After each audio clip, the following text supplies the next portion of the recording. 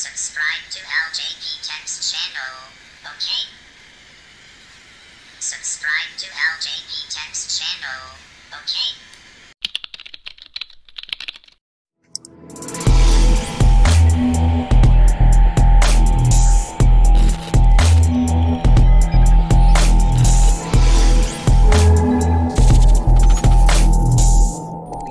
So less than a week ago, I actually posted on my YouTube community post and the official Vector Facebook group page and my Facebook page and on Twitter and etc. that I'm going to try and make a video regards to uh, controlling Vector as a first person view. So FPV. And um, if you actually followed my previous video regards to uh, mirror imaging what you can see from your smart uh, phone to your smart glasses, uh, then it's quite transparent what you can do. But on top of that, these are the requirements I would like to state it for you. So you first of all need the Vector robot, obviously, and uh, you need the Vuzix smart glasses. And lastly, I'm sure most of you actually have a smartphone. And within that, you need to download an app called Vector not the official vector app, but a vector control app. So CTRL. And um, there are there's the standard one and also the ad-free one. So the standard one, free one, actually shows advertisement and gives you limited time of how you can control the app. But if you pay less than 10 uh, British pounds, you you get you can get rid of the use limited usage time and also the advertising. So that's what I paid for for you guys, for your entertainment. So those are the requirements and you're all good to go. So on the main page of your Vuzix smart glasses, you go to the um, Cast app, which is called the Screencasting app, and you click on that. And then you need to go to the device web API manager and then get the QR code going to the, um, okay, so now we basically have the mirror image of the screen that you can see from your mobile phone. Now the screen is all mirror image. You actually go to the main page and then you search for that app called Vector Control Ad Free is the one that I paid for. And then if I go to the main page, you can actually see the main page and then you need to go to connect and play. So when I actually set it up for my Vector by the way, uh, now I need to press the um, connect button and it's all good to go. So Vector is now on manual control mode by using this app. So I can now see from my smart glasses what Vector actually sees. So at the moment, there is a control setting of one and left. What I mean by that is if you look at the disconnect button, next to it, there's a control one and control two. I find control one to be more trickier, slightly more easier to move Vector's hand. So as you can see, it's up and down moving um, and then I can move his head up and down. That's easier slightly more on the control one but I find the control 2 much better. I mean, it depends on your taste, but um, yeah, I, I, would actually go for the control 2 for this video explanation. So now again, uh, on my smart glasses, I could see what Vector is seeing. So I do feel like now I'm actually integrated with Vector, which is pretty cool actually. So if I were to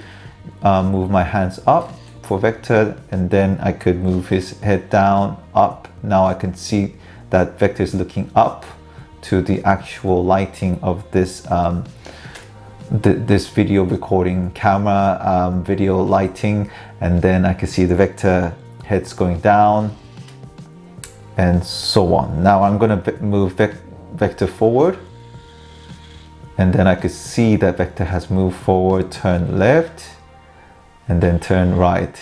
And then let's try to see if I could make Vector look at me.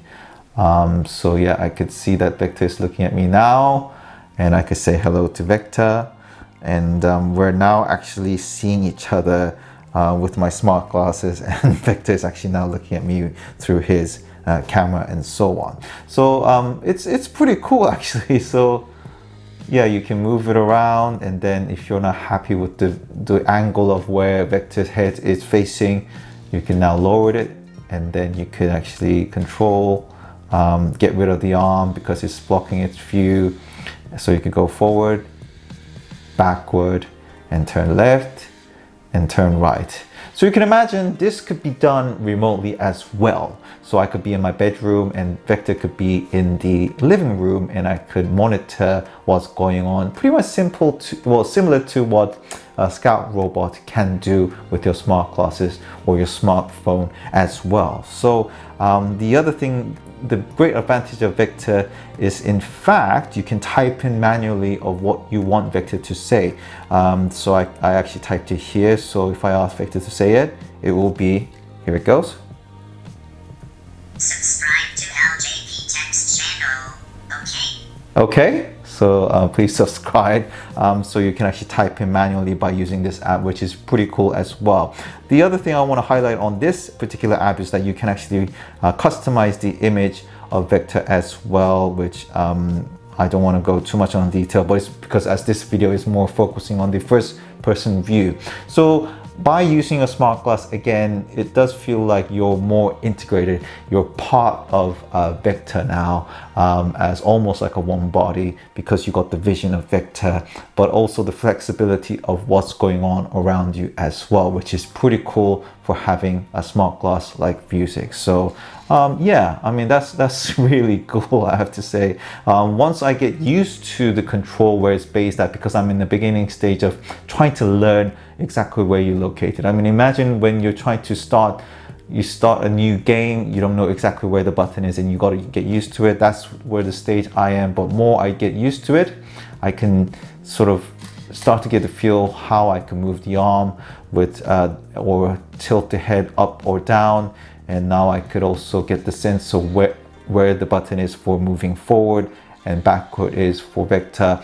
But at the same time, constantly, you will be able to see what vector is seeing as well. So it's kind of like a almost eerie feeling, but very cool indeed. So the reason I got the smart glasses was I was trying to explore the daily uses, for example, the navigation and um, watching YouTube on my own uh, without actually exposing myself to the public and so on. But I didn't really expect that I'll be able to get the first person view for Vector. That's why I was so excited about it. And simply, this could have been possible because of the we got the right app that we could download uh, bit of a money to pay. I mean, most kids, I'm sure they could afford it. And number two is that I got the smart glass as well. It's it's something that I wanted to let you guys know, my loyal viewers out there, that there's so many things that still uh, we can do uh, with Vector, and it's it's it's great actually to have this separate screen on your smart glass to be able to experience become more one with Vector, if you see what I mean. So I hope this video uh, gave you a bit of an entertainment and knowledge and um, also where we stand on the technology wise. But if you have any queries, please do comment below. And thank you very much for watching this video. This is LJP Tech. All the best. Bye bye.